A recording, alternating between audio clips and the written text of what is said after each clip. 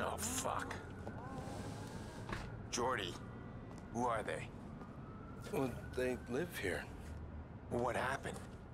Well, security in these buildings is pretty tight. So people like this feel nice and secure living way up here. I mean, these people just had a, a simple chain lock on their door. I guess they want to have a good look at the pizza guy before they open it all the way. All right, fine, sure. So about this problem. Well, that's why I brought the bolt cutters. He opens the door this much, there's a chain right there. I slip him in and snip, and guess what? It's not the pizza guy. Jordi, the problem. Let's deal with it. We are dealing with it. We're in the midst of solutions here, Pearce.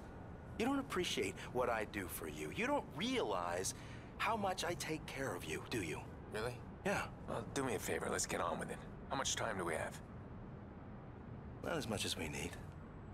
Oh, you remember the stiff from the stadium? He's not so stiff anymore. The uh, cops got him in Chicago lockup, and oh, he's about to walk into an interrogation and point a finger right at you. How did that happen? Kick me when I'm down. Look at the view. See there? Call went out this morning. Somebody's paying buku bucks to grab this clown and make him talk. And one of those guys is running the assignment. Well, it seems like me and him need to have a little chat. Yeah, but this time, don't do that empty gun thing. Poor Maurice pissed himself after your last show. Don't worry about my methods.